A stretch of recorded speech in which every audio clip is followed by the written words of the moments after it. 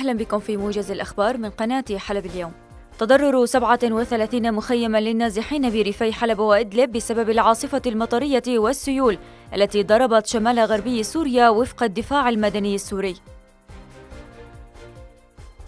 الإدارة الذاتية التابعة لقسد تفرض حظر تجول وإغلاق للمعابر لمدة ثلاثة أيام في مناطق سيطرتها شمال شرقي سوريا بمناسبة عيد النوروز. مظاهرات في درعا البلد وبصر الشام وطفس بمحافظة درعا إحياء للذكرى الثانية عشرة للثورة السورية.